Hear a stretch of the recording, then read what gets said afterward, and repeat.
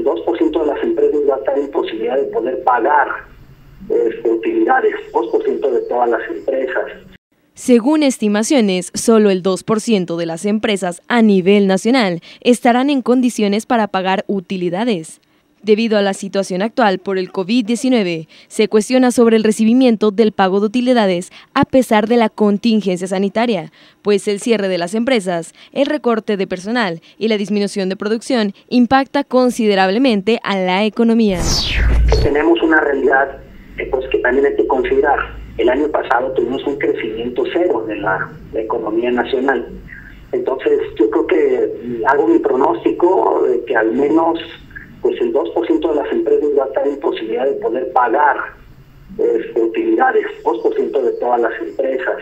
Esto correspondería más o menos, vamos a decir, como unos 10 mm, mil millones de pesos. Estaremos hablando a lo mejor de unas 15 mil empresas.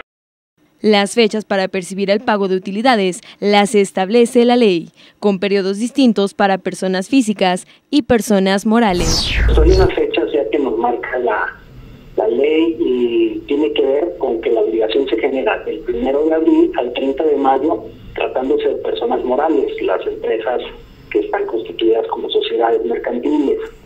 Y del 1 de mayo al 29 de junio, las empresas que son personas físicas. Entonces, para el cobro de utilidades se tiene contemplado el plazo de un año a partir del día siguiente en que se genere la obligación. El monto de utilidades a cobrar se determina con una fórmula. La mitad de las utilidades conforme a los días trabajados y la otra mitad conforme a los salarios percibidos. Fernando Carrillo añadió que cualquier empresa está obligada a realizar los pagos, a excepción de instituciones privadas, empresas de recién apertura, entre otras. Cualquier tipo de no están exentas más que las que se acaban de crear, o sea, de reciente creación, todas están exceptadas por todos los organismos estatales, de seguro social, etcétera. Entonces, de gobierno, eh, algunas entidades de carácter, vamos a decir, filantrópico, y básicamente, pues serían las que no pudieran estar ahí, ¿verdad? O algunas que no tengan ingresos eh, superiores a 300 mil pesos. Con imágenes edición 2, Carlo Evano para Informativo, Cindy García Hurtado.